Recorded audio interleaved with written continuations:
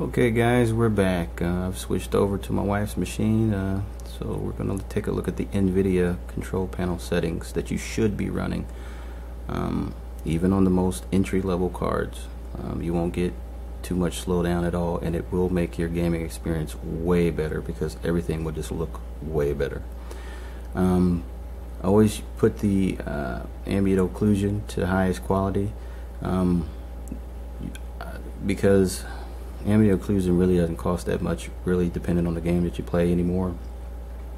Especially the the cards uh, on the video cards from both camps, AMD and Nvidia, that's been released within the last two to three years. Um, most of the games that come out within the past two or three years, they they've optimized that setting really well, and you can also uh, mess with this within the game settings. So always put it to, to the highest quality as possible.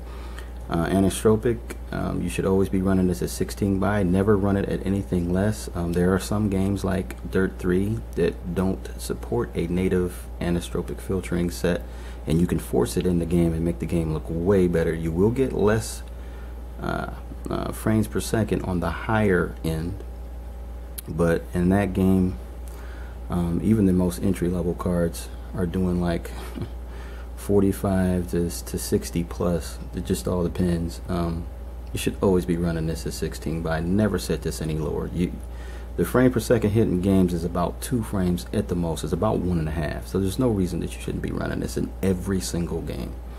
Um, FXAA, I don't use it. Is the most terrible, um, ugliest looking uh, form of anti-aliasing. This shader based. Don't ever. I don't ever use it personally. I hate it. If the game only has this option, I'll just run without it. I hate it that much.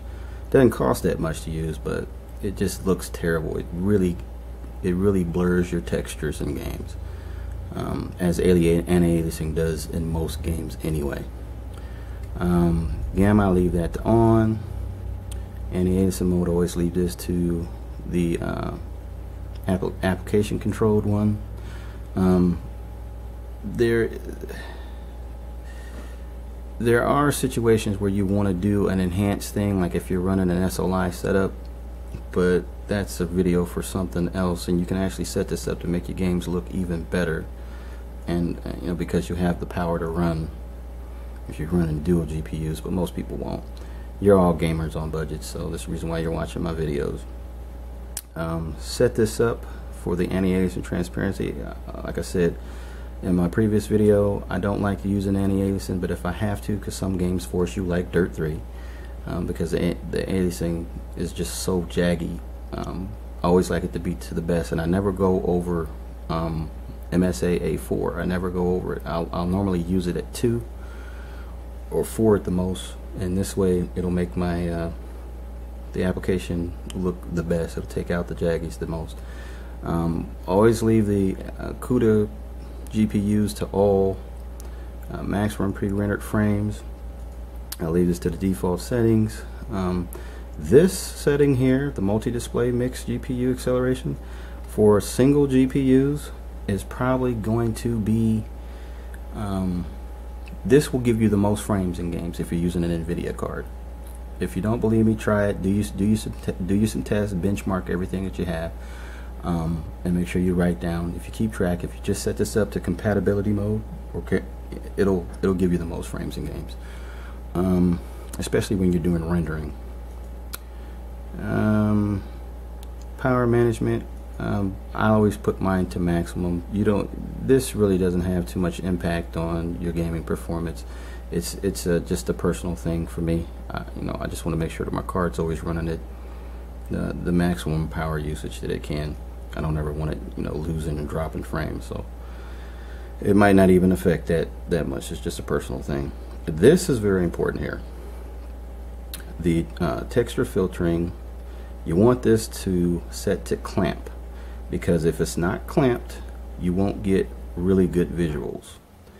Um, if you set it to allow, it actually runs the the horizontal um, drawing of of of your your textures, um, it'll actually go over and you can lose frames that way. So set this to clamp, and it, it it also goes along with um, like using VSync in games that's run, you know, it's you know 50 plus frames per second. You should always have your VSync on.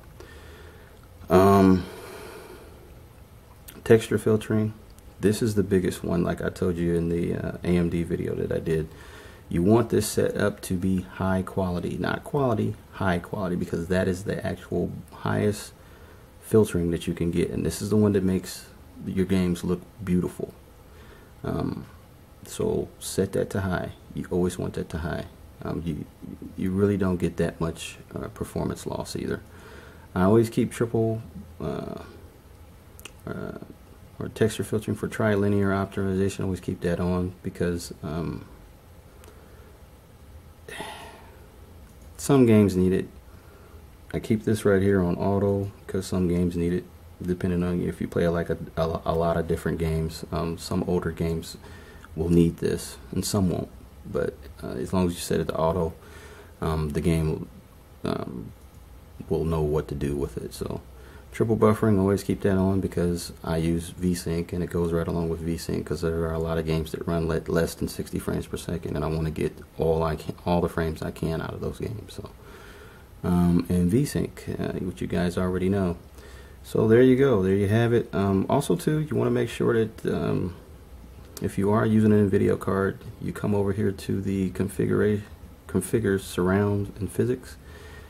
There will be two. You have CPU and uh, auto, and you have uh, whatever your card is. Put that to whatever your card is because you do want your PhysX running at the at the best it can if you run if you're playing a game that has PhysX in it. Another setting I did not show, I probably should have showed in the AMD AMD video is always go in here and I set my digital vibrance. As you can as you can see it, that'll make my see what it does. It comes in at 50. Always sets this set this to 100. Makes my game look makes the colors pop. Makes my games look really really awesome when I'm playing them. So and it doesn't cost any frames per second at all. So you should be using that. And there you go, guys. Um, so there you have it for your AMD side. Thanks for listening. Thanks for watching.